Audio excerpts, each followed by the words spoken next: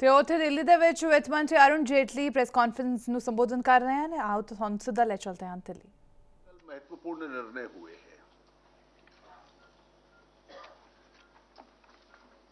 एक निर्णय है कि national policy for skill development and entrepreneurship 2015 इसको अप्रूव किया गया है।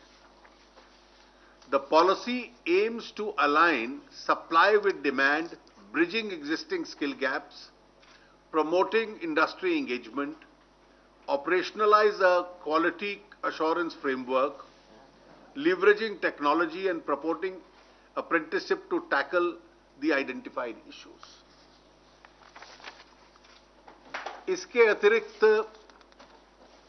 common norms for skill development schemes implemented by the government of India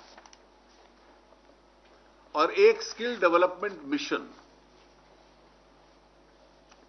ये तीनों को अप्रूव किया गया है। इसके पीछे मूल उद्देश्य ये है कि जो लोग बहुत अधिक हायर एजुकेशन में नहीं जा पाते, और एक सीमित शिक्षा के बाद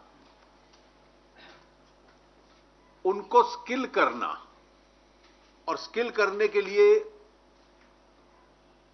उनको ट्रेनिंग देने के लिए सरकार के 21 मंत्रालय हैं, जिसमें अलग अलग योजनाएँ हैं।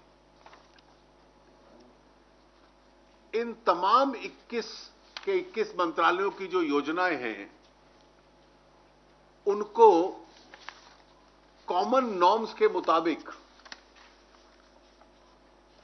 उनमें समन्वय लाना, ताकि इन नौजवानों को, महिलाओं को रोज़गार के लिए तैयार किया जा सके। प्लम्बिंग और कारपेंटरी से लेकर ड्राइविंग और हेयर कटिंग मतलब इसे सैकड़ों किस्म के प्रोफेशंस हैं, जिसके लिए स्किलिंग चाहिए। और जिन लोगों को बहुत ज़्यादा हायर एजुकेशन का लाभ नहीं मिलता, इन स्किल्स के लिए उनको तैयार करना ये तीनों निर्णय उसके संबंध में लिए गए हैं। एक नेशनल काउंसिल होगी जिसके प्रधानमंत्री जी की अध्यक्षता में होगी स्टीयरिंग कमेटी होगी,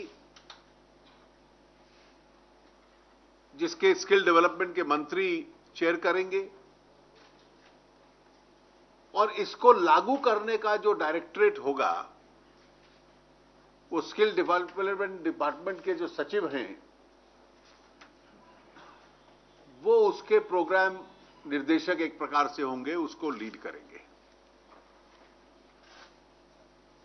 इससे करोड़ों की संख्या में दो देश के नौजवानों को स्किल किया जाए और स्किल डेवलपमेंट मंत्रालय एक प्रकार से नोडल मिनिस्ट्री होगी, जो इस सब नॉर्म्स के मुताबिक जितनी भी स्किलिंग इंस्टीट्यूशंस और कार्यक्रम हैं सरकार के विभिन्न मंत्रालयों में, उसको एक प्लेटफॉर्म पे लाने का प्रयास करेगी। मुझे इतना ही कहना था। कृषि मंत्री जी और सेक्रेटरी स्किल डेवलपमेंट, इस पे कुछ कहना चाहेंगे तो वो कहें ये राष्ट्रीय कृषि बाज़ार के संबंध में चूँकि राज्यों के माध्यम से होना है तो पिछले एक वर्ष के अंदर सभी राज्यों के जो विपणन के मंत्री हैं और अधिकारियों के साथ बातचीत करते करते सभी राज्यों ने लगभग इस बात को स्वीकार किया और इस दिशा में काम तेज किया कि राज्यों के अंदर एक प्लेटफार्म एक राज्य के ही अंदर यदि 20 मंडी है तो अलग अलग कानून है। तो इस दिशा में सभी राज्यों ने प्रयास कर लिया है, शुरू किया है। बिहार और केरल में चूँकि ये व्यवस्था नहीं है मंडी का तो इन दोनों को छोड़कर उत्तर प्रदेश की सरकार भी से सहमत हो गई है। और कर्नाटक ने इस दिशा में बहुत आगे काम किया है। अग्रगणी भूमिका निभाई है। तो 9 जुलाई को 9 10 दो दिन, देश के सभी कृषि के जो विपणन मंत्री हैं डायरेक्टर हैं और कृषि सचिव।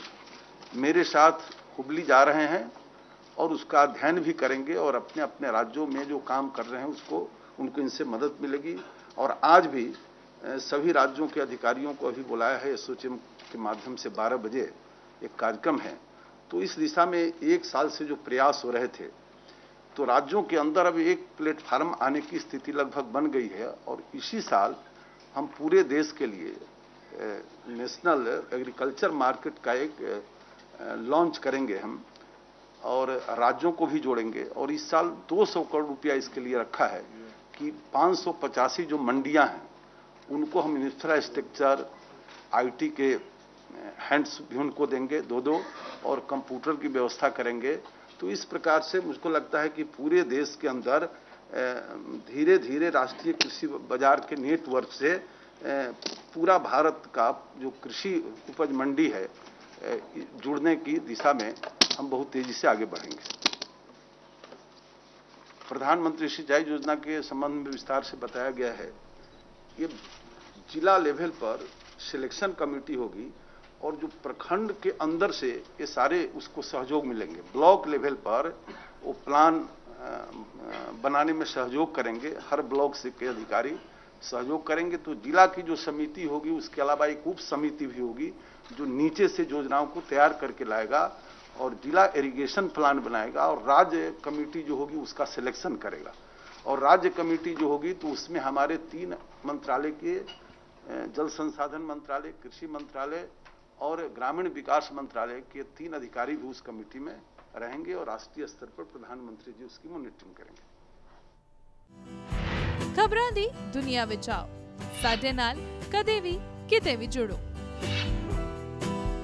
ਆਪਾਂ ਮਿਲਾਂਗੇ ਫੇਸਬੁੱਕ ਤੇ ਅਸੀਂ ਦਿਖਾਂਗੇ YouTube ਤੇ ਸਾਨੂੰ ਫੋਲੋ ਕਰੋ ਟਵਿੱਟਰ ਤੇ ਖਬਰਾਂ ਨਾਲ ਜੁੜੇ ਰਹੋ ਦਿਨ ਰਾਤ